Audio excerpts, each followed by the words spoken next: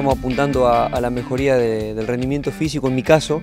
así que para eso estoy tratando de, utilizar este ejercicios este, básicamente de fuerza, entrenamiento funcional, este, como para que el jugador cada día esté un poquito mejor a nivel muscular. Partido tras partido, pues eh, tenemos que ir mejorando, esa es la, consigna del profe y bueno, eso es lo que se está viendo dentro de todo el grupo y, esperando pues seguir y poder llegar a óptimas condiciones. Muy bien, muy bien, la verdad que estamos trabajando muy bien, la verdad que en lo físico estamos muy bien y ahora estamos trabajando mucho en lo táctico, en las pelotas paradas para ponernos a punto, para, para terminar bien esta etapa y ya comenzar la segunda etapa con pie derecho. Cada equipo tiene su identidad